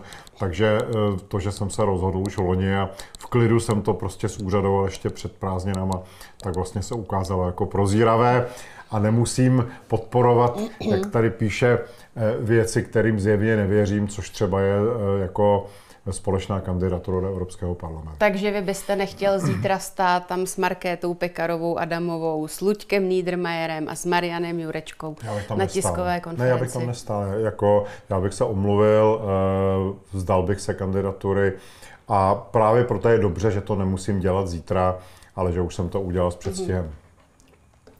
Pepa, s Petrem Fialou se nic nestalo, jen plní zadání. Stačí se podívat na fotky ze, ze začátku 90. Panevropská unie. Fiala s Posltem a Habsburkem. Dřív se tomu říkalo kádrová rezerva. No, eh, to zase myslím, že se tady Petro, Petrovi Fialovi křivdí. Já bych byl trochu jako schovývavější k tomu, co se dělo na začátku 90. let, protože to jsme jako Lec kdo z nás dělal různé věci, hmm. protože jsme v tom neměli úplně ještě jasno, kdo je kdo a co je co a kdo hraje jakou prostě eh, politiku. A zase, když si vemu ty knížky Petra Fialy, už to je tady zmiňovala, to, co psal v době, kdy byl Eh, vlastně teprve profesorem politologie, nebo i když byl eh, lídrem opoziční ODS, eh, tak tam prostě tím se dá ze vším jenom souhlasit. Jo. To, takže spíš se stalo něco potom. Škoda, že to nevydrželo. Dalibor Kulhánek, tak zdravíme Dalibora bez dotazu. A ještě jednou Ondra N, jedna na tělo, poslouchej mě, tak. Jedna na tělo, co jako Pražán a arytmák říkáte na pražský výsledek snažení pana Fialy? Primátor spící a hřibátor akční. Já nevím, co je arytmák, teda jo. Ani a... já ne. Já jsem myslela, ne. že budete... Ne. ne? Ne, já jsem v arytmě nepracoval někde, ale dobře. No, eh, tak eh, já samozřejmě mám pocit, že eh, to byla zrovna jedna ze situací, kdy ta koalice kterou jsme tady už několikrát mm. zmínili, to znamená koalice s ODS, hnutím ANO, byla skoro na spadnutí a že právě zásah vyšší, vyšší moci jí zabránil, protože zvítězila ta snaha ukázat, že tedy jsme spolu, spolu eh, ve všech situacích a zejména v hlavním městě. Eh, vznikla tam tady ta bez aliance postavená na vládním půdorysu, kde je prostě složitá Eh, ta Piráti prostě, ano, eh, najednou dělají dopravu, eh, to je jako... A pan primátor no. Svoboda k tomu řekne, že máte s Piráty mnoho společného? Zase jako já mám pocit, že tam samozřejmě se už, když teda tam někde v tom minulém bylo něco o kádrových rezervách v tom minulém dotazu, tak já myslím, že tady spíš už jako pražské ODS taky se hledají nějaké kádrové rezervy hmm. do eh, příštího zastupitelstva hlavního města Prahy na příští kandidátku. Hmm. A máme tady ještě jednou uh, dvacku od Dalibora Kulhánka, znovu bez dotazu, takže ještě jednou děkujeme Daliboru Kulhánkovi. No a máme 22.20, tak to je takový čas, kdy to asi můžeme pomalu uzavřít. A a někdo si to nemyslí, Jirka Maso si to nemyslí. Co opustit V4? Jak rozumět Pavlovu názoru na veto? A t- tady dává konečně... takové, jako on dává eh, tenhle ten člověk jako provokativní dotazy, na které chcem, jako, nevím jestli, na, jako, oni jsou částečně návodné, mm. ale vlastně jako bych chtěl, abychom mu oponovali prostě, jo. Což je hezký. To je Jirka. no, tak co bude s V4, já skutečně nevím. Mm-hmm. Uh, to, je, uh, to je otázka budoucnosti. To eh, bude to tam dva na dva teď. No, jako možná to bude dokonce pak tři na jednoho, jo. Já nejsem si tím úplně jistý, mm. jestli to bude dva na dva. Fakt je, že tady byla prostě taková snaha jako říkat, no, to je jenom ten Orbán, tam prostě jako musíme toho Orbána izolovat, mm. jako musíme ho nějak jako umravnit, tak teď už to tak není, že jo. A uvidíme, co se bude prostě dít třeba příští rok po těch prezidentských volbách ve Spojených státech. Eh, tak eh, jako já fakt nevím, samozřejmě neopouštěl bych V4. Jsou to sousedi, musíme tam mít nějakou komunikační linku, cokoliv se bude dít, je úplně jedno, kdo je tam ve vládě. Já bych řekl, že úplně jedno, jestli ta nebo ona vláda má takovou nebo, nebo nějakou jinou politiku vůči Ukrajině. Máme jiné věci společné spolu, Eh, infrastrukturní projekty, energetiku. Takže V4 neopouštět, ale připravit se na to, že prostě jako tam můžou být živější diskuze o některých tématech. Jak rozumět Pavlovu názoru na veto? Eh, nerozumím, eh, já si nemyslím jako ani, že pan prezident tomu nějak extra rozumí. Já si myslím, že prostě mu připravili projev jak teď byl na, na, na té belgické cestě, že jo, kde teda navštívil Evropský parlament a navštívil taky tu College of Europe v Brugách, tak mu prostě připravili vždycky takový projev, aby to konvenovalo tomu hmm. publiku, k kterému zrovna Doufali, mluví. že tady si to nikdo nevšimne. Uh, takže v Brugách prostě mluvil tak, aby to konvenovalo tamnějšímu auditoriu, které samozřejmě je proevropsky, prointegračně, profederalistické. A když se řekne, že by se mělo zrušit veto, tak se to samozřejmě hmm. tam líbí. Eh, vys eh, v Evropském parlamentu se to taky líbí. Vys poslední názor eh, toho ústavního výboru, který teď odhlasoval, že by se mělo zrušit právo veta, což samozřejmě vyvolalo poprask na sítích, ale jako klid. Já myslím, že v Radě EU to zase prostě skupina států, doufám, že včetně mm. České republiky, zablokuje a schodí. Takže já bych prostě těmhle těm projevům pana premiéra, pana prezidenta, pardon, nepřikládal nějaký velký význam. Prostě on přečte, co mu napsali a dál bych to neřešil. Máme tady ještě další dvacku od Dalibora Kulhánka, takže ještě jednou děkujeme. A taktéž děkujeme i Lucii a ještě někomu dalšímu Pepovi. Pane Zahradile, děkuji za návštěvu a odvahu. Nemáte to jednoduché, chápu, držte se. A paní Karol, děkuji za skvělý výběr hosta. Tak byli no, jsme pochváleni. Já, já děkuji. No. Jako takhle zase odvaha, jo, ono jako v mém postavení, eh, mě už teď vlastně o nic nejde. Eh, a takže zase té odvahy tolik není zapotřebí a přece jenom ve svém věku už si jako můžu dovolit říkat hmm. to, co si opravdu myslím, nemusím taktizovat a nemusím někde, někde něco schovávat.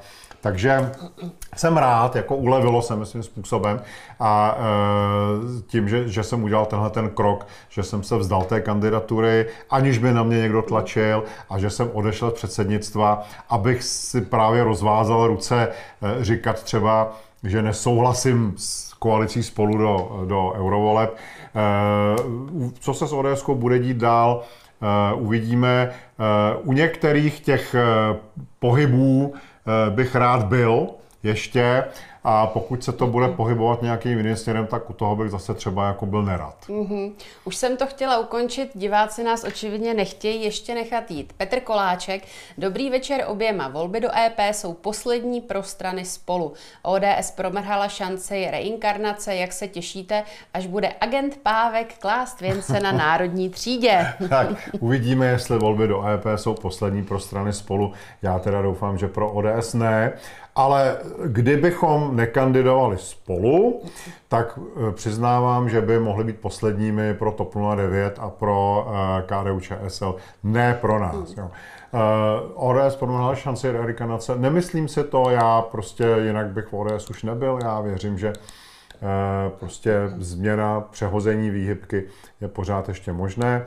Jak se těším, eh, až bude agent Pávek klást věnce na národní třídě.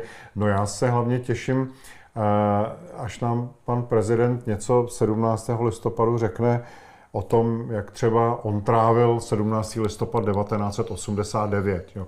Jak ho trávil Václav, prezident Václav Klaus nebo ex-prezident Václav Klaus, jak ho trávil Václav Havel, víme, jak ho trávil Václav Klaus, víme, jak ho trávil Miloš Zeman, také víme, tak teď se dozvíme, jak 17. listopad 1989, doufám, že se dozvíme, jak ho uh, trávil pan prezident Petr Pavel. Abych parafrázovala Václava Klausem, to jsou ale ošklivé větičky. no, ale máme tady závěr našeho streamu, takže... jste ten přízvuk taky ještě jste trefila. Snažila jsem se. Tak já bych vám ráda spolu s diváky poděkovala za to, že jste přišel, za to, že jste si s námi povídal, odpovídal na dotazy diváků. A nás fakt nechtějí. Petr Komínek, dobrý večer. Praktická politika vlády i ODS mě děsí. Co s tím? S pozdravem agent Pávek. Já tak už nebudu. Možná bychom mohli Petrovi doporučit, uh, puste si, protože asi jste přišel později, tak puste no, si dnešní stream od začátku a tam to máte všechno dopodrobna, ale jinak Petrovi děkujeme, děkujeme vám všem ostatním, kteří jste se zapojili. Ještě jednou děkuji, jsem to měla useknuté minule, takže děkuji vám za to, že jste přišel, že jste si na nás udělal čas. Tady bych vám předala takový malý dárek. Jednak vám předám manetky, Doufám, že děkuji. máte rád sušenky ke kafi třeba. Ano, ke kafi se vždycky hodí. Abyste si měl to kafe do čeho vařit, tak tady máte náš plecháček Xaver Life. Ten se také hodí. A uh, abyste si to měl v čem odnést, tak vám tady dám tašku XTV, na které je nápis, že pravda a láska vyděsí. Tak kdybyste náhodou šel na tu zítřejší konferenci tiskovou spolu, tak tašku sebou. Tenhle, ano, to já musím, tadyhle, uh, tohle je dobrý, no, pravda, pravda a láska vyděsí. Uh, to, jako, to budu používat. To sedí. To Dobře, tak ještě jednou, milí diváci, děkujeme za vaše štědré přihrávky. Děkuji nejštědřejším donátorům, jako byl Petr Vaňura, Skup.cz, Václav Seidl a Jan Dvořák. Díky moc. Ještě jednou díky vám. Zítra vysílá Xaver. Kdybyste ještě přemýšleli o nějaké inspiraci, co si pustit, tak máme tady aktuální díl, pane prezidente. A ještě tady máme jeden dotaz. Dušan Rol, dobrý večer, pane Zahradile. Mně ten váš předseda přijde takový neslaný, nemastný typ člověka, který, ve své funk- který se ve své funkci trápí a táhne nás všechny ke dnu. Prostě politolog, teoretik. Uvědomuje si to? Uvědomujete si vůbec, co dělá? Žádný lídr to není. Taky jsme se o tom bavili v průběhu pořadu, takže... Dušane, děkujeme moc za štědrou finanční podporu a doporučíme to stejné, co Petru Komínkovi. Dušane, puste si náš stream od začátku, tam ano, jsme se celý, toho tématu... Celý. Neřekneme kde, jako ať se to pustí celý. Přesně že? tak, takže moc děkujeme a puste si to, ať víte, eh, jaká byla odpověď Jana Zahradila na tento váš dotaz. Takže ještě jednou díky vám, díky vám a Krásný zbytek večera, spolu se uvidíme opět v pondělí a do té doby se opatrujte.